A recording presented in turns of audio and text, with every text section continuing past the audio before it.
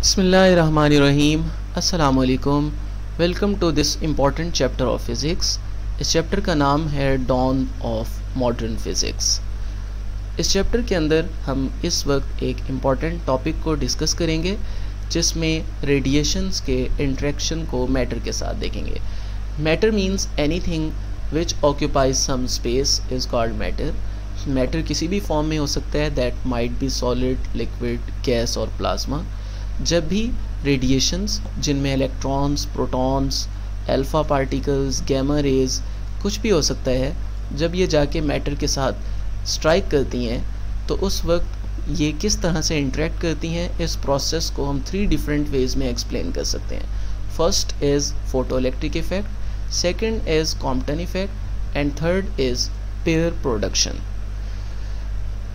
so what is photo electric effect? Photoelectric effect is derived from two words. Photo means light and electric means electric current. Photoelectric effect means कि जब भी किसी substance पर light पड़े और वो conduct करे, उसमें से करंट फ्लो करे तो that is called photo electric effect और करंट फ्लो करता है due to flow of electrons तो in short photo electric effect के दौरान, जब किसी भी मेटल पर करंट लाइट फॉल करती है तो उसकी वजह से वहाँ से इलेक्ट्रॉन्स एमिट होते हैं। So it is the process of emission of electrons from a metal surface when it is expose to light of suitable frequency और उन इलेक्ट्रॉन्स को जो इस प्रोसेस में एमिट हो रहे होते हैं those are called photo electrons इस अरेंजमेंट को हम इस डायग्राम में देख सकते हैं। ये हमारे पास एक इवैक्यूएटेड ग्लास ट्यूब है। इवैक्यूएटेड ग्लास ट्यूब से मुराद इसके अंदर हमने वैक्यूम जनरेट किया हुआ है और कैथोड और एनोड यूज़ हुए हुए हैं। Cathode is made up of a metal किसी भी मेटल का ये बना हुआ है और इनका आपस में कांटेक्ट नहीं है। कैथोड को हमने बैटरी के नेगेटिव टर्मिनल के साथ कनेक्ट कर दिया है और एनोड को हमने बैटरी के पॉजिटिव टर्मिनल के साथ कनेक्ट किया है। इनके साथ एमीटर और वोल्टेज वोल्ट मीटर को लगाने का मकसद असल में करंट और वोल्टेज मैयर करना है। तो अगर हम इसकी वर्किंग को ऑब्ज़र्व करें तो जब लाइट इस मेटल पर आके फॉल करेगी तो इसमें से इलेक्ट्रॉन्स एमिट होंगे। और अगर हम इसको साइड पे यहाँ पे बनाने की कोशिश करें तो ये इलेक्ट्रॉन्स जब एमिट होंगे इस कैथोड में से, जो कि हम इस डायग्राम में देख सकते हैं तो ये एमिट होने के बाद अट्रैक्ट होंगे towards the anode for example ये कैथोड है, इसमें से कुछ इलेक्ट्रॉन्स एमिट हुए हैं when light falls on it तो ये इलेक्ट्रॉन्स अट्रैक्ट होंगे टुवर्ड्स एनोड क्योंकि एनोड बैटरी के पॉजिटिव टर्मिनल के साथ कनेक्ट है, और इसलिए वहाँ पर उसको अट्रैक्शन मिलेगी। तो जब ये उसकी तरफ़ अट्रैक्ट होंगे तो उस वक्त क्या होगा कि ये कंडक्ट करना स्टार्ट कर देंगे, इस सर्किट में से फ्लो करना स्टार्ट कर देंगे। और जब हम लाइट को फॉल करवाना बंद कर देंगे तो करंट स्टॉप हो जाएगा क्योंकि इलेक्ट्रॉन्स की एमिशन बंद हो जाएगी। इसीलिए क्योंकि ये इलेक्ट्रॉन्स लाइट के ऊपर डिपेंड कर रहे हैं, इसलिए हम इस करंट को फ़ोटो इलेक्ट्रिक करंट भी कहते हैं। फ़ोटो इलेक्ट्रिक इफ़ेक्ट के अंदर अगर हम मैक्सिमम एनर्जी को ऑब्ज़र्व करना चाहते हैं तो उसके लिए हमें टर्मिनल्स को रिवर्स करना पड़ेगा।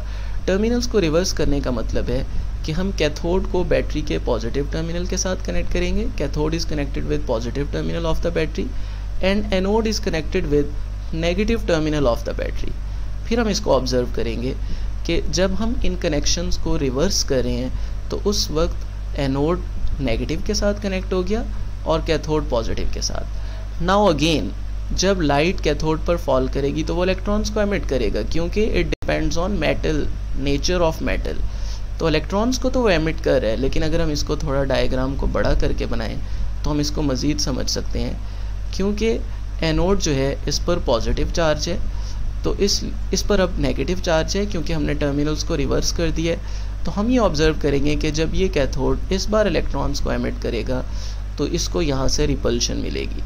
और रिपेल होने की वजह से हम कह सकते हैं कि ये उसकी तरफ़ फ्लो नहीं करेंगे।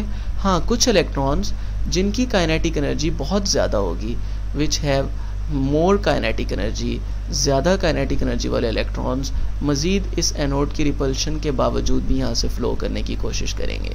लेकिन अगर हम इस पोटेंशियल को मज़ीद नेगेटिव बनाते जाएँ तो एक स्टेज ऐसी आएगी कि करंट उस पर ज़ीरो हो जाएगा। And that potential is known as stopping potential that is called stopping potential और उस पोटेंशियल पर जो मैक्सिमम एनर्जी होगी फ़ोटो इलेक्ट्रॉन्स की that is called maximum energy, maximum kinetic energy. And we know that kinetic energy is equal to q delta v. Kinetic energy का formula half M V square होता है। और अगर हम इसे electron की टर्म्स में लिखें तो ई e और वोल्टेज के लिए वी नॉट का प्रोडक्ट लिख सकते हैं। फ़ोटो इलेक्ट्रिक इफ़ेक्ट के लिए अगर हम वेव फॉर्म्स को ड्रॉ करें तो हम इस तरह से कर सकते हैं कि ये करंट और वोल्टेज की वेव फॉर्म है। इसमें जो फ़र्स्ट डायग्राम है, ये डिफरेंट इंटेंसिटी पर ड्रॉ हुई हुई है। जब हम इंटेंसिटी को इंक्रीज़ करते हैं तो उसके इंक्रीज़ होने से हम देख रहे हैं कि जो फॉरवर्ड डायरेक्शन में करंट है, वो भी इंक्रीज़ हो रहा है। और जब फॉरवर्ड डायरेक्शन में करंट इंक्रीज़ हो रहा है, क्योंकि intensity depends on number of electrons जितना ज़्यादा हम इंटेंसिटी को इंक्रीज़ करेंगे तो इलेक्ट्रॉन्स जो एमिट हो रहे हैं, वो उनकी तादाद बढ़ती जाएगी, जिसकी वजह से फॉरवर्ड डायरेक्शन में तो करंट बढ़ेगा। लेकिन हम देख रहे हैं कि ये जो नेगेटिव साइड है that is reversing the potential जो स्टॉपिंग पोटेंशियल है, उसके अंदर कोई चेंज नहीं आएगा, क्योंकि जो स्टॉपिंग पोटेंशियल या जिस पर करंट ज़ीरो होता है, उसका ताल्लुक इलेक्ट्रॉन्स की एनर्जी से है. So there will be no change in stopping potential और जब हम इसको डिफरेंट फ्रीक्वेंसी पर ऑब्ज़र्व करें तो we know that is equal to H F या दूसरे लफ्ज़ों में E is proportional to F frequency ज़्यादा करने का मतलब है एनर्जी का ज़्यादा होना. तो उस वक्त करंट तो सेम है, लेकिन जो स्टॉपिंग पोटेंशियल है वो क्या है? डिफरेंट उसकी रीज़न ये है कि stopping potential depends on energy जब हमने फ्रीक्वेंसी ज़्यादा की तो एनर्जी बढ़ गई और वो स्टेज देर से आई जहाँ पर करंट ज़ीरो हो रहा था।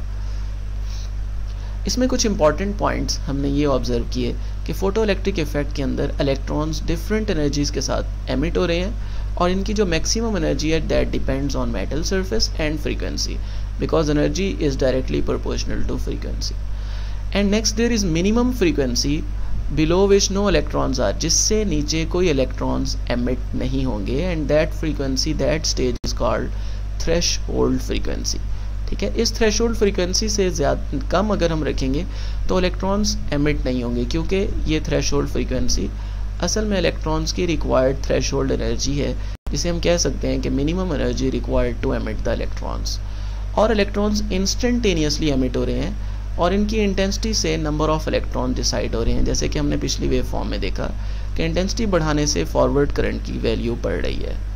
Thank you so much that was all for this video in photo अगर आपको ये वीडियो पसंद आई हो तो वो रिक्वेस्ट हो कि आप हमारे चैनल को सब्सक्राइब करें और बेल आइकन को ज़रूर क्लिक करें ताकि आपको मज़ीद यूज़फुल वीडियोज़ मिल सकें। Thank you